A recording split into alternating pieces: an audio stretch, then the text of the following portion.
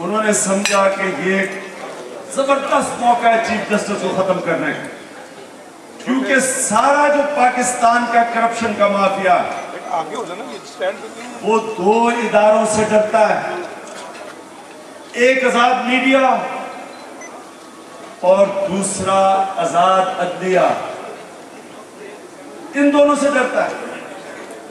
क्योंकि आज़ाद मीडिया इनकी चोरी सामने ले आएगा।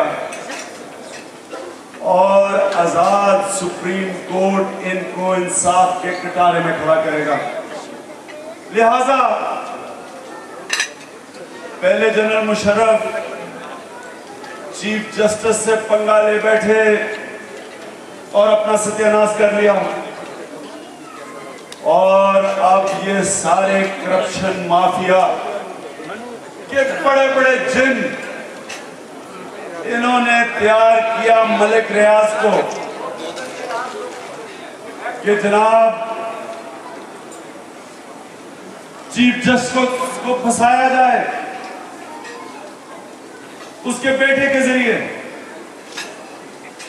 मकसद मलिक रियाज का ये नहीं था कि एकदम वो सुबह उठा और उसने कहा कि मैं पाकिस्तान में बड़ी करप्शन है मैं करप्शन के खिलाफ जंग लड़ू मकसद उसका ये था कि चीफ जस्टिस के बेटे को ट्रैप करें और चीफ जस्टिस को ब्लैकमेल करें।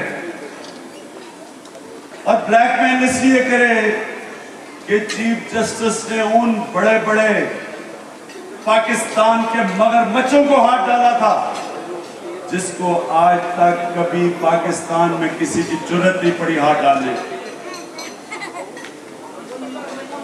तो जब खामोश, थोड़ा खामोश हो जाए। ये कौन है?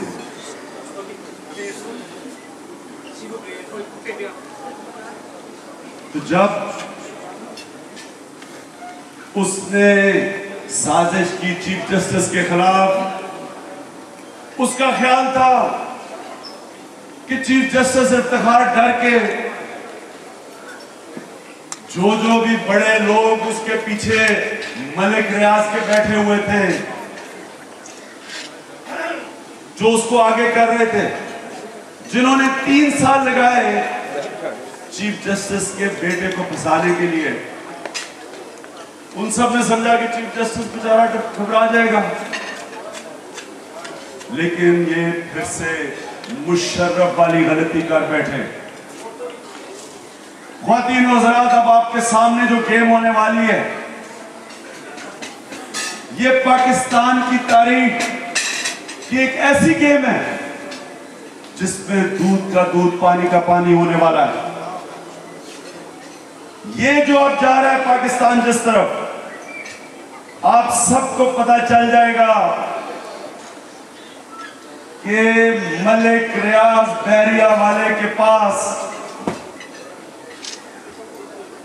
किस किस पाकिस्तान के सियासतदान, किस किस पाकिस्तान की फौज में कौन से लोग और पाकिस्तान के कौन से सहाफियों को उसने उनकी कीमत लगाई हुई? कितना पैसा दिया? इनके जमीर की कीमत कितनी थी? इंशाल्लाह आने वाले दिनों में आप सबके सामने आएगा। आने वाले दिनों में। आने वाले दिनों में। आने वाले दिनों में आपको पता चलेगा कि कौन से सियासतदान की क्या कीमत थी, कितने पे बिका। और आपको मैं आज आपके सामने पेशेंट गोई कर रहा हूँ।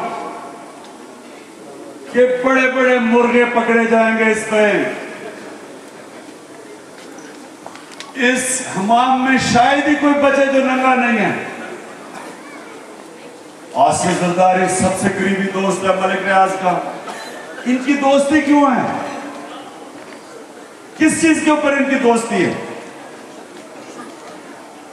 मलिक रियाज के चौधरियों के साथ भी दोस्ती है। मलिक रियाज की मुशरफ के साथ भी दोस्ती थी मलिक रियाज कहता है कि हमजा शबाज मेरा बेटे की तरह है। मलिक रियाज को जो अभी रात को पता नहीं आपने तमाशा देखा या नहीं, कि मलिक रियाज को वो टीवी के ऊपर टेलीफोन आता है, यूसुफ रजा गिलानी के बेटे का, अली कादिर गिलानी का तो मुझे नहीं पता था कि उसको गुल्लू कहते हैं कहता हेलो गुल्लू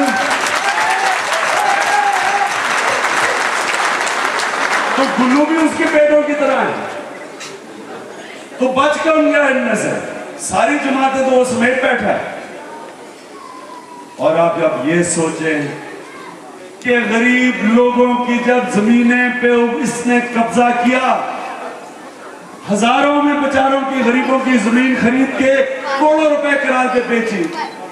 वो बेचारे गरीब लोग भागे फिर रहे थे। किसने उनको इंसाफ देना था? सारे तो इसकी जेब में थे। सबको तो खरीद बैठा था। जब इसने जंगलात, पंजाब के जंगलात के ऊपर कब्जा करके उनको बैरियर टाउन का हिस्सा बना के अरबों रुपए का इसने नफा कमाया तो कौन से पंजाब के सरबरा ने इसको पकड़ना था? वो तो इसकी जेब में तो मेरे बहनों और भाइयों और नौजवानों और खातिनों हजरात, अल्लाह ने पाकिस्तान को उधर खड़ा कर दिया कि जैसे पाकिस्तान चल रहा आगे ऐसे नहीं चल सकता।